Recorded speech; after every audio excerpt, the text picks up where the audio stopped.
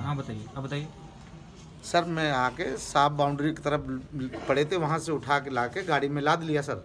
लेके हम जैसे चले थे सर तुरंत भीड़ आ गई चारों तरफ़ पत्थर पत्थर पकड़ लो मारो मारो पेड़ों की आड़ से। तो जब सब भागे मैं अकेले मैं भी कूद के भाग गया सर फिर।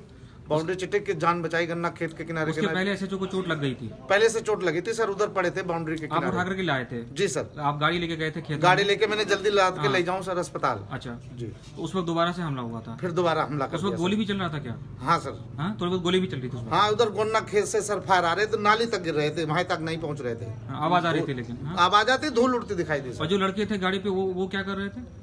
हमारे संगे जो लोग थे? नहीं जो गाड़ी पे लड़के बा, बा, बाकी पहुँचे हुए थे वहाँ पे वो क्या कर रहे थे? हमारे साथ जो थे वो लदवा रहे थे और सब फिर भाग नहीं जो लोग वहाँ गाड़ी पे हमला किए थे वो क्या कर रहे थे? प्राइवेट वाले? हाँ। प्राइवेट वाले पत्थर दे रहे थे मारो गाली दे रहे थे गाड़ी पे? जी जी। पकड़ लो पकड़ लो इधर पेड़ों की आड़ से भी पत्थर मार लेकिन उसके पहले उसको लग चुका था चोट लग पहले लग चुके थे सर पहले लग चुके थे। क्या नाम है आपका? मेरा राम आश्रय ड्राइवर सर। आप ड्राइवर थे उनके? जी, साथ सर। में चलते थे? जी सर जी। अच्छा ठीक है। आपके साथ और हमराई भी कोई था क्या? हाँ हमारे साथ एक हमराई वीरेंद्र सिंह था सर और सुभाष दरोगा जी थे। उस जो उठा के ला रहे थे उसको? जी सर। खेतों से उसको उठा के ला रहे खेत से दीवार के किनारे से सर। थे उठा के